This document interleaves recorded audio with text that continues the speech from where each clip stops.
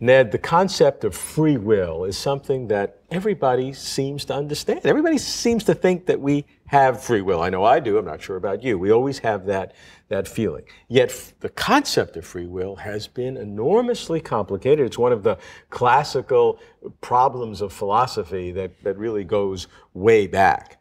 But in today's world, we have this tremendous development of neuroscience in which we can begin to look at free will perhaps in a different way.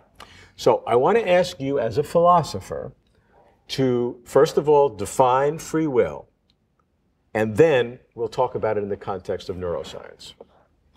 Okay, the concept of free will. I think the concept of free will is confused.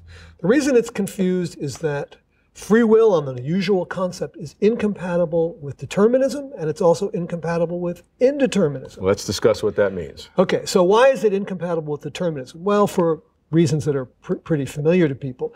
If an earlier state of your body determines what you're going to do now, how can it be free? And that's determinism. That That's determinism. that but one indetermin- event, event in the past, Yeah. events in the past will, will conspire together to absolutely have an event now. Right. Um, indeterminism, though, is just as bad because if you do something by chance, that doesn't mean it's done by you freely. Um, this is a point made, made many years ago. Um, so it looks like both indeterminism and determinism are, are incompatible with, with free will, which shows there's something wrong with the concept. Now, often, when we see something is wrong with a concept, we have a choice of chucking it and saying there isn't any such thing as free will, or accepting a kind of reduced form of it and saying, yes, there is free will, but it isn't exactly what you thought it was. So I guess in the latter mode, we could say, sure, there's free will, and it's completely compatible with determinism. It's just certain ways of being determined that are incompatible with free will, like determination where somebody's pointing a gun at me, or determination where something goes wrong with my brain that um, makes it the case that I have a compulsion to do something. So those are the cases where there's no free will, but in the ordinary case where there's no compulsion, no gun, you do have free will. Because you're defining free will in a diminished way. That's right.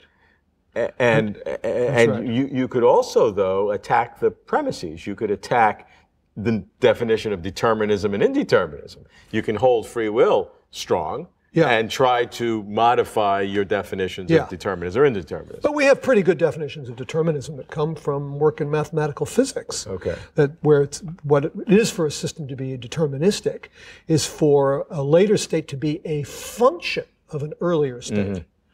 One and only one later state is a function of an earlier state. That's what determinism is. so you're not very happy to be to, critis, to, to, to critique or to diminish the premises of the definitions of determinism or indeterminism you're you put the focus of your wrath on on Yeah. the definition of free will Yeah, I think we should get our definition of determinism from science. Uh-huh, You know, They're the ones who uh, are, you know, doing the work that allows us to really understand what a deterministic system is.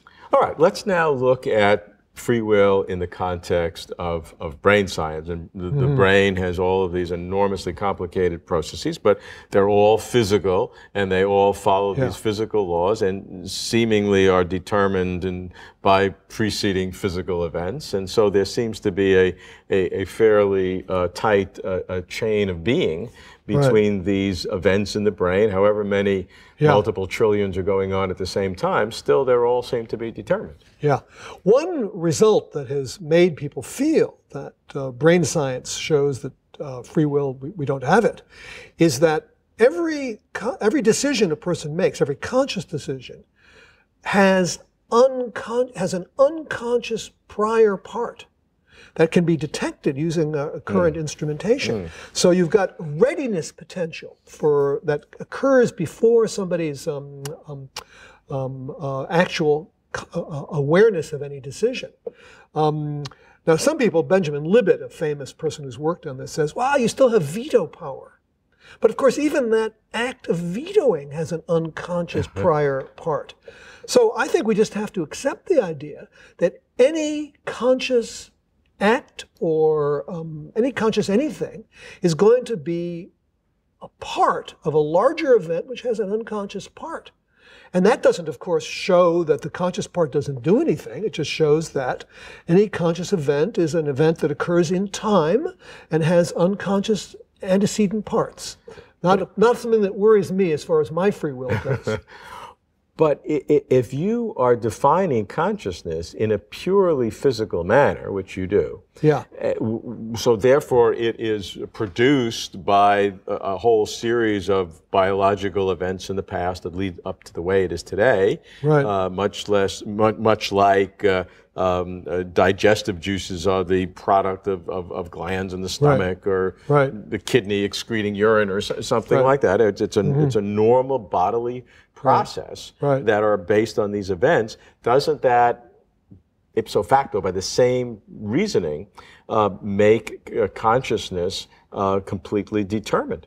Yes, I think consciousness is determined. Well, to the extent, look, in, there is a certain amount of indeterminism, but I wouldn't rely. That is because of quantum mechanics. Yeah, but, but I'm not going to rely yeah, on that. I, I, think that's a mistake. No, I think consciousness is determined, but we still have free will in the only sense we can have free will, which is that our actions are not caused by compulsions or people pointing guns at us. That's what it is to have free will in the only way we can have it.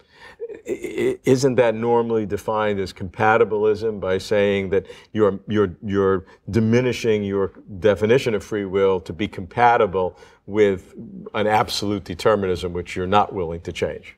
Right, that's exactly right. But the alternative to that is to allow some intuitive notion of free will that not only doesn't exist, but can't exist because it's incompatible with both determinism and indeterminism. So if we're going to be reasonable about what free will is, we have to pick a, a, a coherent notion, and a coherent notion the most obvious coherent notion is one in which we have free will.